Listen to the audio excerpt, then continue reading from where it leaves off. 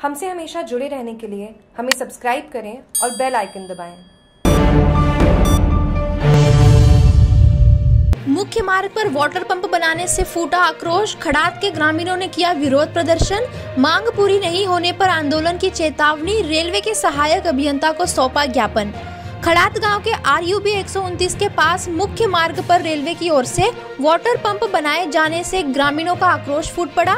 ग्रामीणों ने जमकर रोष का इजहार किया। वाटर पंप से जल भराव होने की आशंका व्यक्त की।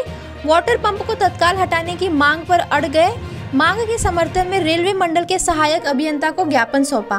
ग्राम पंचायत खड़ात के आर यू मार्ग पर रेलवे की ओर से वाटर पंप बनाया गया। गाँव के प्रकाश पुरोहित के मकान के सामने बनाए गए वाटर पंप से ग्रामीणों में रोष घर कर गया। ग्रामीणों ने नियम विरुद्ध वाटर पंप बनाने का हवाला दिया। वाटर पंप को हटाने की मांग करने लगे। मांग के समर्थन में ग्राम वासियों ने जमकर रोष का इजहार किया।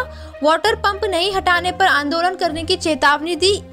इस अवसर पर प्रकाश पुरोहित, कंत्रु भाई पुरोहित, केतन पुरोहित, खड़ात ग्राम पंचायत सरपंच केसरी देवी, उप सरपंच गोविंद पुरोहित वार्ड पंच कमला समेत बड़ी संख्या में ग्रामवासी मौजूद थे। मांग के समर्थन में ग्राम पंचायत खड़ात के सरपंच केसरी देवी ग्राम वासियों की ओर से रेलवे के सहायक अभियंता को ज्ञापन सौंपा गया। नियम विरुद्ध आम सड़क पर बनाए गए वाटर पंप को हटाने की मांग की।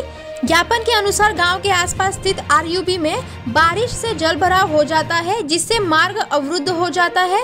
ऐसे में गाँव का संपर्क शहर से कट जाता है। आपात स्थिति में खांसी परेशानी का सामना करना पड़ता है।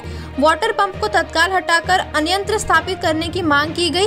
मांग पूरी नहीं होने पर आंदोलन की चेतावनी दी गई। इस पर सहायक अभियंता ने प्रभावी कार्रवाई करने का भरोसा दिलाया। जागरूक टीवी के संवाददाता से आबू रोड ग्राम पंचायत खड़ात के उप सरपंच गोविंद पुरोहित इनका कहना है कि जागरूक टीवी के आबू रोड से मनोज चौरसिया की रिपोर्ट।